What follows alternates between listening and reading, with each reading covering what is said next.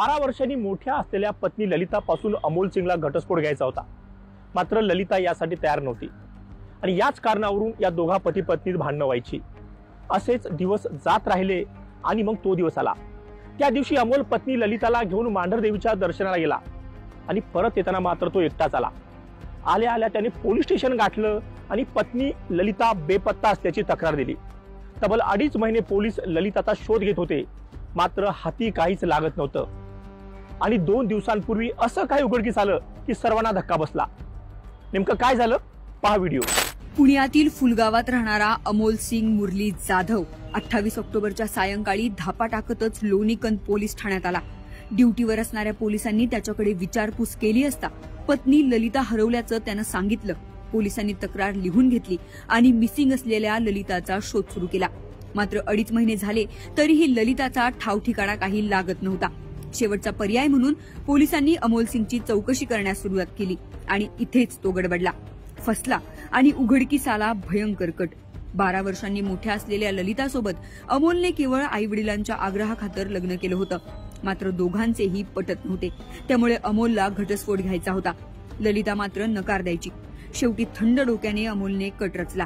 अठ्ठावीस ऑक्टोबर दोन हजार तेवीस. या दिवशी अमोलने ललिताला मांढरदेवीच्या दर्शनाला जायचे आहे असे सांगून सोबत घेतले. यासाठी त्याने कॅब बुक केली होती. मांढरदेवीच्या दिशेने त्यांचा प्रवास सुरू होता. इकडे दर्शनाला जायचं म्हणून ललिता आनंदी होती तर तिकडे अमोल सिंगच्या मनात वेगळाच प्लॅन सुरू होता. मांढरदेवीला पोहोचल्यानंतर गाडी पार्किंगला थांबून दोघेही पायी चालत वर निघाले. घाट रस्त्याने जात असताना कोणाचेही लक्ष आपल्याकडे नाही असं पाहून अमोलने खोल दरीत ललिताला ढकलून दिलं. बेसावध ललिता घरंगळत खाली गेली आणि वीस फूट खोल झाडाझुडपात जाऊन अडकली. जीव वाचवण्यासाठी ललिता आरडाओरडा करत असताना अमोल वीस फूट खोल खाली उतरला आणि तिच्याच साडीने गळा आवळून तिचा खून केला. त्यानंतर काही घडलंच नाही या आविर्भावात तो वर आला. मात्र तपासादरम्यान त्याचं हे बिंग अखेर फुटलंच. विचारपूस करायला लागलो आमचा संशय बळावत गेला. तेव्हा त्याचे हावभाव किंवा तेव्हा तो काही गोष्टी लपवतोय हे लक्षात आलं. आणि त्यानंतर तेव्हा जेव्हा त्याची बसून विचारपूस केली तेव्हा त्यानं त्याच्या पत्नीचा खून केल्याची कबुली दिलेली आहे. या मिसिंगचा तपास आमचे पोलीस हवालदार प्रकाश आवाळे आणि इथे रवींद्र गोडसे यांनी केलेला होता. जेव्हा त्यांनी कबुली दिली त्यानंतर मग आपण त्यांना त्यानं वाईच्या मांढरदेवी घाटामध्ये मांढरदेवी दर्शनाला जायचं असं तो इथून सांगून बायकोला घेऊन गेला होता. आणि तिकडे गेल्यानंतर तिचं ढकलून देऊन दरीमध्ये आधी मारण्याचा प्रयत्न केला. परंतु ती मेली नाही तर त्याला खाली जाऊन त्याचा गळा आवडला साडी. आणि त्यानंतर ते प्रेत ढकलून दिलं होतं त्याला घरीमध्ये. आमचे P S I Reshim Kolekar police Naik Swapnil Jadhav आणि अजित परांदे अशाने जाऊन तिथं मोठ्या प्रमाणावर दरीमध्ये उतरून शोध मोहीम राबवलेली होती. बराच काळानंतर मग त्याला तो सांगाडा सापडला साडे बांगड्या आणि चप्पल वगैरे त्या महिलेच्या. हे सगळं रिकवर केलेलं.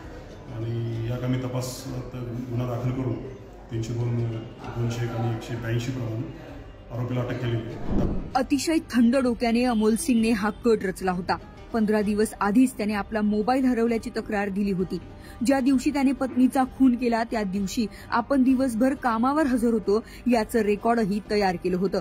पोलिसांसोबत तो शोधकार्यातही हजर होता. मात्र चौकशी दरम्यान त्याच्या बोलण्यात विसंगती आढळली आणि त्याने रचलेला कट उघडकीस आला. वाघोलीहून सुरेश वांढेकरसह किरण शिंदे यांचा रिपोर्ट लोकमत डॉट कॉम.